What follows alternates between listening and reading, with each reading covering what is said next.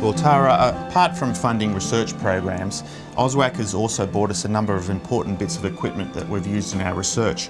For example, um, a blood gas machine has been bought for our delivery suite, which helps monitor babies after birth. And every single baby born in our hospital at present is monitored with this machine.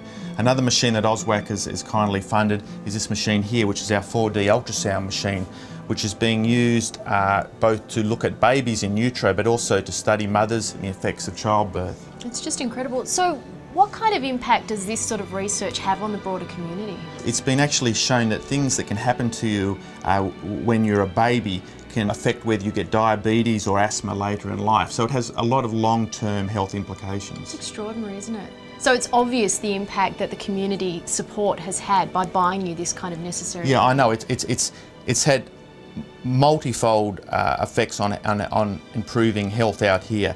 Um, it helps researchers do their immediate research. This research can then have long-term implications on, on, on, health later in life. Mm. It also helps attract um, clinicians and, and, and scientists to our area to work.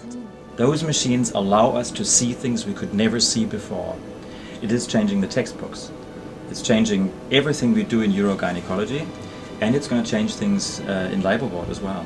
It's like a door is opened and suddenly everything's different. That happens very occasionally in medicine. And I guess we are very grateful that we've been there when the door was opened, that we had a chance to go through that door.